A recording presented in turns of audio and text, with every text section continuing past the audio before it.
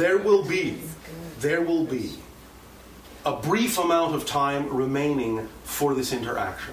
Is there anything else you wish to discuss in the time that does remain for this particular window? Yes. All right. People that commit acts of murder. Yes. When we, we can now release the idea of death, it's simply just a blink of an eye into a new dimension or a new reality. Yes. But those individuals that are committing acts of murder, Yes. They're still responsible for their choices. They can still be observed to be acting out of fear, doubt, and in a negative manifestation, negative mechanically. Negative energy meaning that which segregates, that which disconnects, that which separates, that which is not holistic, that which is out of alignment with the true self. You can still recognize that that's what they're doing.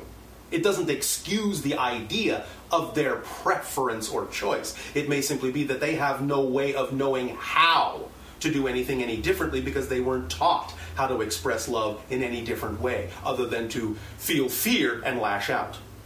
So you can have compassion, but I'm not saying in that sense it's, shall we say, you don't have to devoid the idea that it's their responsibility to learn to choose other ways to act in harmony. You follow me? yes, I'll review the tape. In other words, in other words, when someone makes a choice to kill another, it is done out of fear. It is done because the one doing the killing feels they have already died, that they have been killed, that they have been suppressed, that they have been abused, that they have been devalued, that they are disconnected from all that is. They are in total fear, total panic. And all they can do, the only way they know how to relate in reaching out to others, is to do harm, is to do acts of disconnection.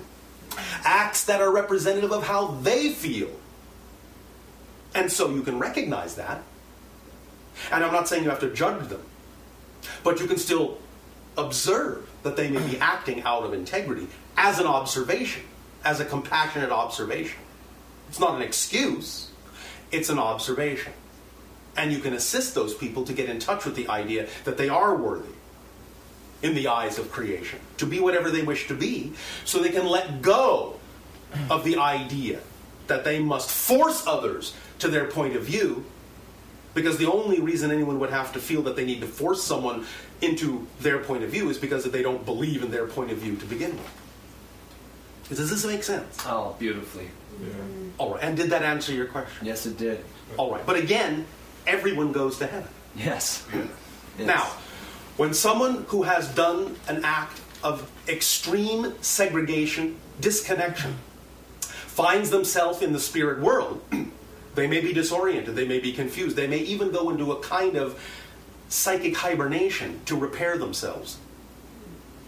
Almost as if they had a very, very strange nightmare. You follow me? But they will slowly be, shall we say, helped to wake up from that nightmare and remember who they actually are and why they may have made the choices that they did. Now, the soul will take all of that and use it in a positive way for its own growth. The soul will not judge it at all. But the soul may recognize that it may not have been the most aligned way the personality it created could have acted. It may not have made the most aligned and harmonious choices it could have. You follow me? Yes. But it will be an observation, not a judgment. Yes. Does that make sense?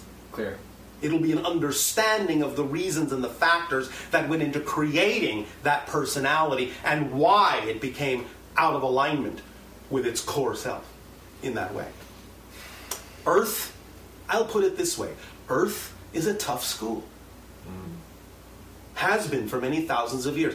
It's one of the most steeply, steeply embedded societies we have ever found in limitation. That's why we call you the masters of limitation. But you see, the idea is, is that the deeper you go into darkness, when you finally come out of that into the light, you'll go that much farther into the light. Yes. Like a rubber band. Exactly.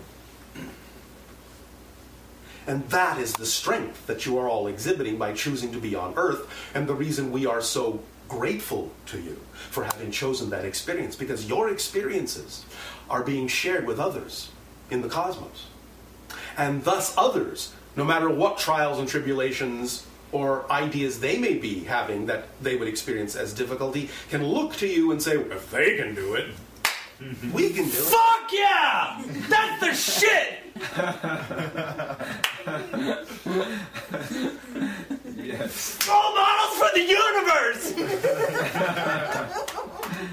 Yes. Um,